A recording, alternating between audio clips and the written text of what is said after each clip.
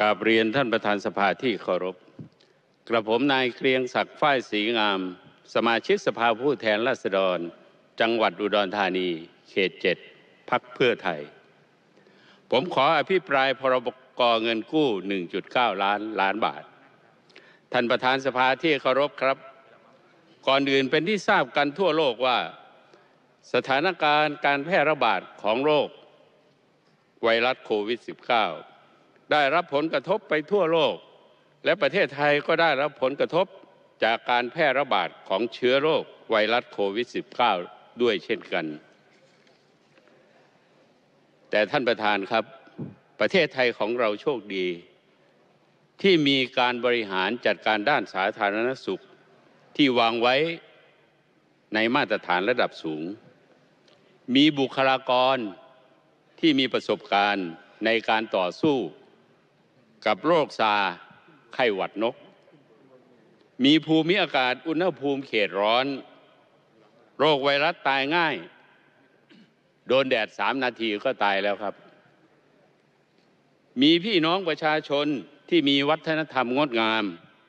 น้ำใจดีมีความเสียสละร่วมมือกันในการหยุดเชื้อไวรัสโควิด -19 ในครั้งนี้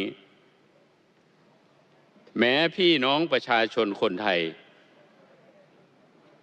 ทุกคนทราบดีครับ ข้าวไม่มีจะกรอกหม้ออดอยากปากแห้ง เศรษฐกิจแย่ เงินไม่มีในกระเป๋าสักบาท ตกงานรายได้หดหาย เป็นตายเท่ากัน แต่เมื่อถึงวันต้องเสียสละเพื่อประเทศชาติร่วมปราบโรคร้ายโควิด -19 ทุกภาคส่วน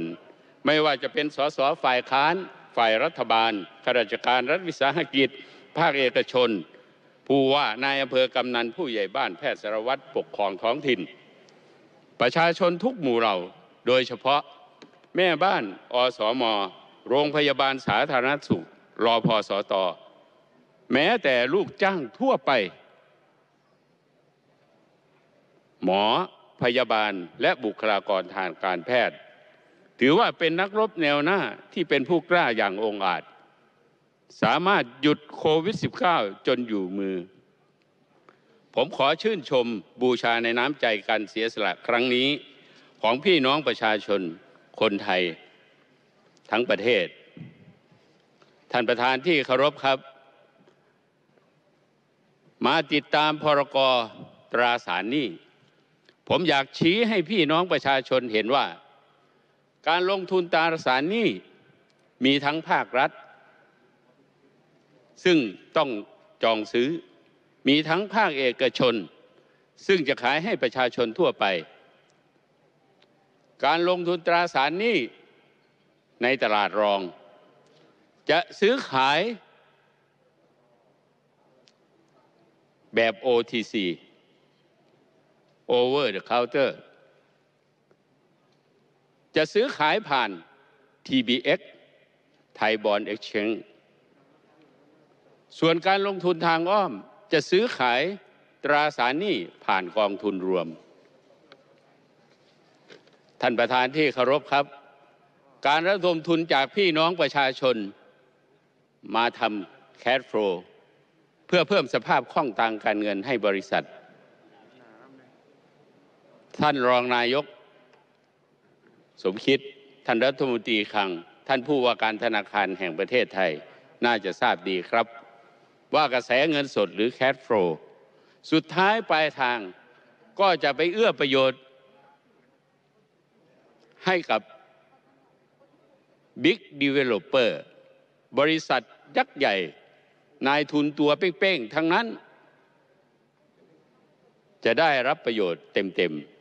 ๆ ผมคิดว่า รัฐบาลควรจะทำเวลแฟร์รัฐวิสาหกิจ เพื่อช่วยคนไทยที่ยากจนผู้ด้อยโอกาส คนรากหญ้า แม่ค้าในแผงตลาด ธุรกิจฐานล่างรถพุ่มพวงรายเล็กรายน้อย ตราสารหนี้ขอ ชาร์ตหน่อยครับ รูปภาพ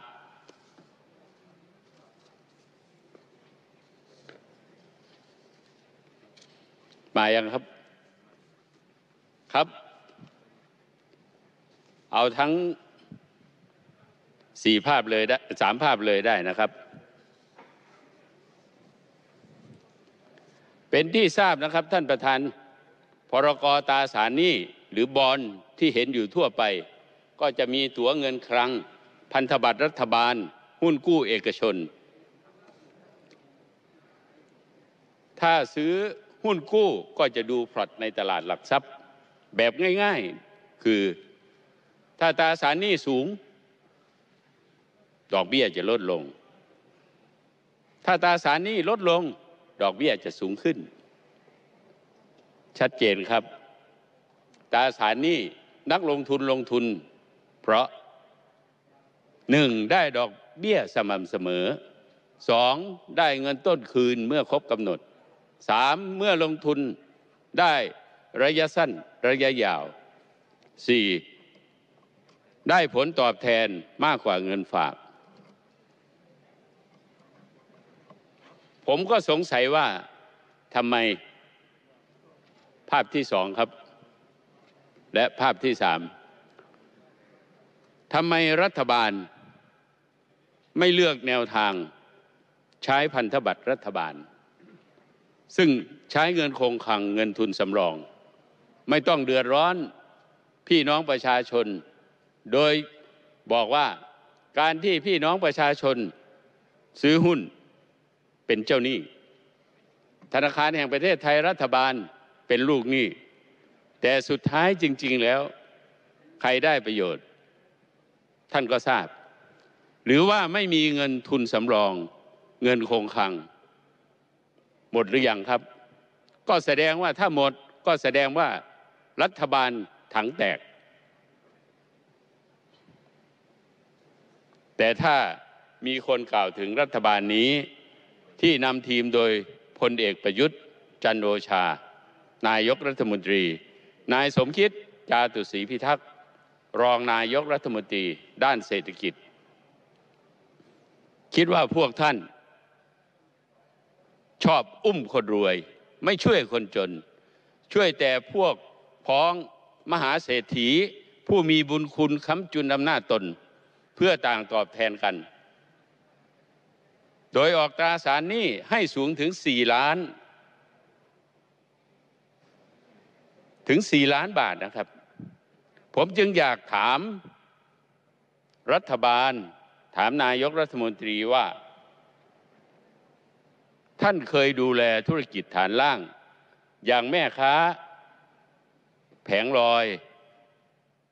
เปิดท้ายรถพุ่มพวง รายเล็กรายน้อยไหม ท่านทำเนี่ยเพื่อใคร โปร่งใสหรือไม่ท่านมีความจริงใจแค่ไหน ประชาชนเอาภาพลงเลยครับ ประชาชนได้ประโยชน์อะไร ท่านนายก ท่านประยุทธ์จันทร์โอชาครับ ช่วยตอบที คนไทยทั้งแผ่นดินจะได้เข้าใจ เพื่อความโปร่งใส ผมเห็นด้วยนะครับ ที่จะให้มีการตั้ง คณะกรรมาธิการวิสามันเข้าไปช่วยดูแลตรวจสอบเพื่อความโปร่งใสในการใช้งบประมาณในครั้งนี้ ซึ่งเป็นเงินท่านจะเรียกว่ายังไงก็แล้วแต่ แน่นอนต้องเป็นเงินของพี่น้องประชาชน ไม่ว่าจะเป็นเงินกู้หรือหนี้คนที่รับผิดชอบก็คือพี่น้องประชาชน คนไทยทั้งแผ่นดิน ขอกราบขอบพระคุณครับท่านประธาน